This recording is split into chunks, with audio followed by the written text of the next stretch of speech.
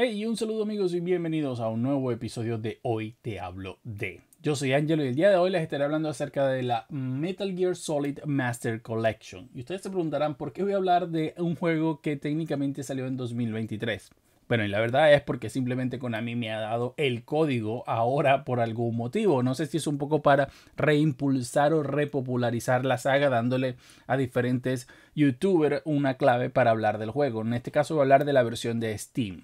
Y lo primero que quiero decir es que esta versión se siente un poco desconectada porque cada juego, o digamos la mayoría de ellos, excepto Metal Gear 1 y 2 de MSX, están como en una aplicación aparte. Es decir, que tú vas a iniciar el juego eh, Metal Gear Solid 3 e inicias Metal Gear Solid 3. Es decir, no hay un menú conjunto donde tú inicies y a partir de allí escojas el juego que quieres.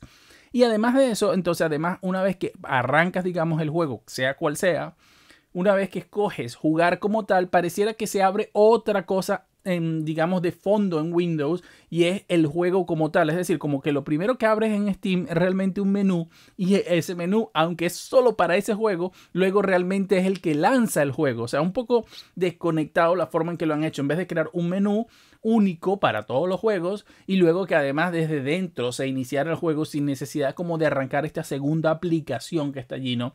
Es un poco raro y no se siente del todo bien, la verdad.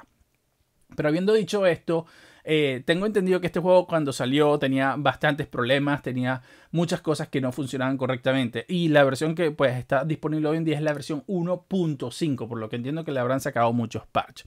Ahora, ¿qué opino en general y la recomiendo o no la recomiendo? Bueno, lo primero que quiero decir es que esto no es un review de los juegos, ¿ok? Esto es un review de la colección como tal, para que me entiendan. De modo que eh, ustedes puedan saber si vale la pena o no comprarlo. Y lo otro es que yo no soy un purista de Metal Gear, por lo tanto puede ser que yo te diga que me ha parecido que todo está bien y alguien me diga, no, pero es que no te diste cuenta que en el segundo 3 falta un, un césped, antes eran 10 y ahí solo hay 9, ¿ok? Así que bueno, puede ser que me, me, salte cosas, pero la idea es un poco darles eso, una idea de, de, lo que va esta colección. Entonces, bueno, los dos primeros juegos que son Metal Gear... Eh, 1 y 2 son la versión de MSX el juego la verdad es que no tiene demasiadas opciones más allá pues, de poder escoger los bordes, porque como saben pues son juegos que son en un ratio de 4 tercios, entonces pues quedan bordes negros a los lados y esto los puedes cambiar por otros bordes un poco más bonitos. Tienes algunas opciones de, pantalla, como puede ser si lo quieres full screen, si lo quieres integer, que sería que no ocupe toda la pantalla, sino exactamente los píxeles que necesita ocupar para que siga viéndose perfecto. Pero no tiene ningún tipo de filtro así tipo CRT ni nada, entonces la verdad que lo vas a ver bastante pixelado. O sea, lo vas a ver directamente pixelado como eh, sin ningún tipo de filtro aplicado y pues eh, al menos no puedes aplicarle un filtro de lo que es dentro del juego.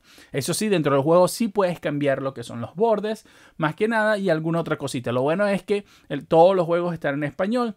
Pero eh, evidentemente la forma en que han hecho esto es un poco raro porque el texto se nota que no es eh, digamos, de la misma resolución que el resto del juego. No es un poquito extraña esta combinación que han hecho acá para poder hacer lo que es la traducción en vez de colocar, digamos, la traducción con texto propio dentro del juego. Pero bueno, lo importante es que los juegos funcionan relativamente bien. Yo nunca jugué a los originales en una MSX, por lo tanto no sé si hay alguna variación, algún error, pero a mí me, parece, me han parecido que están bien, que se juegan bien y que pues no hay ningún tipo de inconveniente particular. También puedes escoger si quieres colocar el juego en en el lado izquierdo de la pantalla, en el centro o a la derecha. No estoy muy seguro como para qué, qué función tendrá esto, pero bueno, allí está. Así que estos pues son los más sencillos de todos, creo, y los más fáciles de emular. También están las versiones de NES. Eh, dentro de uno de los menús hay que ir y te permiten eh, jugar a las versiones de NES de estos juegos. Luego está el Metal Gear Solid, la versión de PlayStation. Y bueno, no sé qué decirles de este juego. La verdad es que no sé si quejarme o no, en el sentido de que el juego pues es el juego original sin más. Tienes pocas opciones como son las de nuevamente integer, eh, tienes la opción de full screen o la versión de estirar la pantalla y lo único que puedes activar es un filtro bilineal o no. Evidentemente es preferible jugarlo sin esto para que veas los píxeles cruising, ese suavizado que la verdad no le queda bien. Sin embargo, lo que sí me choca un poco es que el juego no tiene ningún tipo de efecto de mejora, ¿no? Como puedes tenerlo en un emulador. Si tú agarras este juego y lo colocas en un emulador, puedes mejorar las texturas, puedes mejorar la resolución, etcétera, que hace que el juego pues se vea un poco mejor. Al final del día es algo opcional eh, pero acá no lo tienes, ¿no? Acá vas a ver los píxeles crudos a 320 x 240 como se veía en la PlayStation original, lo cual para algunos puede estar bien y por supuesto que eh, como purista que puede ser, pues es el juego, ¿no? Pero igual hubiera preferido que tuviera un poco más de opciones. Y lo otro que no me gusta de la versión esta es que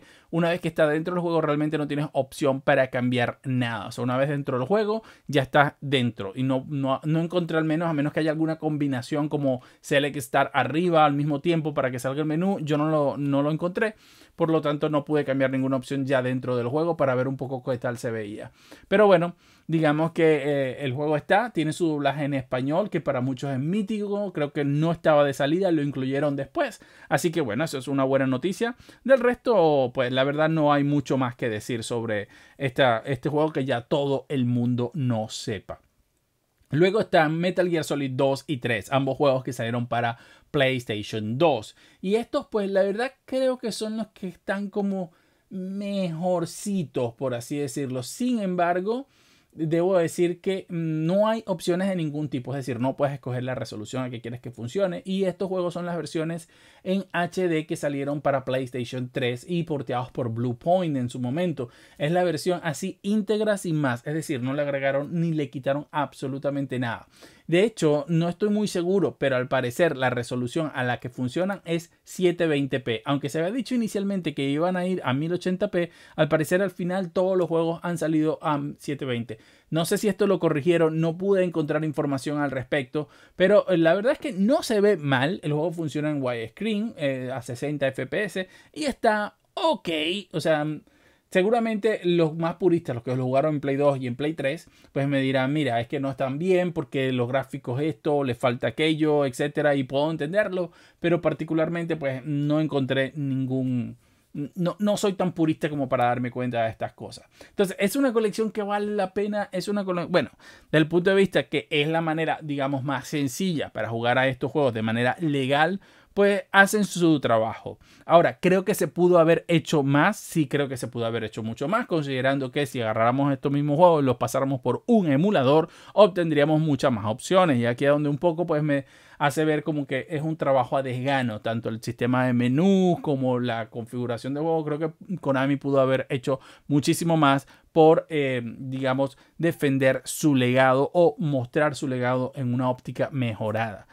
Se supone que además ahora nos va a esperar lo que es una Metal Gear Solid Collection 2, que debería traer los juegos faltantes, como es el de PlayStation 3, eh, el Metal Gear Solid 4 y el de PSP Peace Walker. No sé si van a incluir algunos juegos de cartas que hubo para también eh, la PSP en algún momento. Y no sé si también pretenden incluir aquí Metal Gear 5 en esta colección.